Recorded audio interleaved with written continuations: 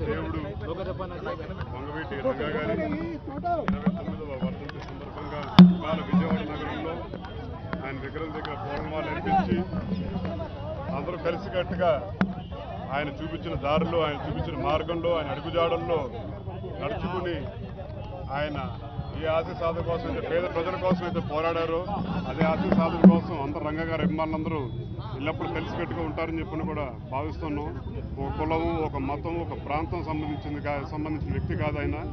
వాళ్ళ ఆంధ్ర రాష్ట్రం అంతటా అలాగే చూస్తే ఇతర దేశాల్లో కూడా రంగగారి అభిమానులు వాళ్ళు కార్యక్రమం చేస్తారని చెప్పంటే ఒక మనిషి చనిపోయిన ఇరవై తొమ్మిది సంవత్సరాలు కూడా భౌతికంగా మాలో లేకపోయినా సరే మా గుండెల్లో ఉన్నాడని చెప్పని చాటి చెప్పడానికి ఇదే సూచకం అని చెప్పని కూడా చెప్తున్నాను రాను రోజుల్లో కూడా తప్పకుండా రంగా గారి అభిమానులందరూ కలిసికట్టుగా ఏ విషయం వచ్చినా సరే పోరాడతారని చెప్పి కలిసికట్టుగా ఉంటారని చెప్పని మనస్ఫూర్తిగా ప్రతి ఒక్కరిని కోరుకుంటూ అలాగే రంగా అభిమానులందరికీ హృదయపూర్వకంగా కృతజ్ఞతలు ధన్యవాదాలు తెలియజేసుకుంటూ చేతులు జోడించి ప్రతి ఒక్కరికి నమస్కారం తెలియజేసుకుంటున్నాను. ఎందుకంటే ఆయన మరణించి ఇప్పుడు మరణించిన ఇన్ని సంవత్సరాల తర్వాత కూడా మీరందరూ చూపించే అభిమానం వల్లే మీ అందరూ ముందుకు నడుస్తామని చెప్పి కూడా చెప్తున్నాను.